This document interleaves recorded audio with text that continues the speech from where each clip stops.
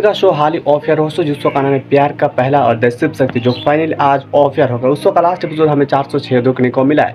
तो क्या इस गाने वाले एपिसोड 407 हमें देखने को मिलेगा? और इस शो को जी जीटीवी ने क्यों बंद किया? चले बताते हैं। उससे पहले अभी तक वीडियो को लाइक एंड चैनल को सब्सक्राइब नहीं किए तो कल इस जगह तो चले वीडियो को स्टार्ट करते हैं। जीटीवी के द्वारा इस शो को स्टार्ट किया गया तीन जुलाई दो को और इस शो का लास्ट एपिसोड हम अठारह अगस्त दो हज़ार चौबीस को, यानी उसका आज ही लास्ट एपिसोड चार सौ छह देखने को मिला है। इस शो में कास्ट हमें देखने को मिला था निखिल शर्मा, अर्जुन विजला जी जैसे कलाकार इस शो में नज़र आए तो बात करते हैं क्या इस शो का आने वाले एपिसोड 407 हमें और देखने को मिलेगा। तो दोस्तों, हमें जीटीवी का शो जिस का है प्यार का पहला और शिव शक्ति, इस शो का आने वाले एपिसोड 407 और हमें देखने को नहीं मिलेगा, क्योंकि इस शो को जीटीवी ने बंद कर दिया। इस शो का लास्ट एपिसोड हमें चार देखने को मिला है और बाकी इसका आने वाले एपिसोड चार और हमें देखने को नहीं मिलेगा।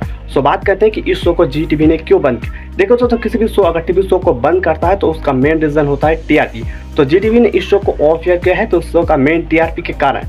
टीआरपी बहुत ज़्यादा लो आ रहा था जिस जिस कारण जीटीवी ने प्यार का पहला अध्याय शिव शक्ति को बंद कर दिया है। और आप सभी को 18 अगस्त 2024 यानी आज इस शो का लास्ट एपिसोड 406 देखने को मिला, और इसका आने वाले एपिसोड 407 और देखने को नहीं मिलेगा। और इस शो का मेन होने का मेन ऑफियर होने का रीजन इस शो का लो टीआरपी के कारण ही इस शो को जीटीवी ने बंद किया है।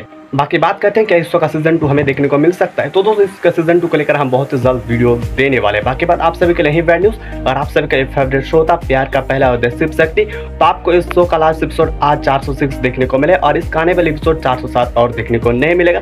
लेकिन हम आपको बहुत ही जल्द इसका सीज़न टू को लेकर वीडियो देने वाले इसलिए वीडियो को लाइक करके चैनल को सब्सक्राइब करके ज़रूर रखेगा क्योंकि इस चैनल पर आपको हर शो के अपडेट आगे भी मिलते रहेंगे। तो चलिए मिलते हैं टॉपिक के साथ, तब तक अपना ख्याल रखेगा बाय बाय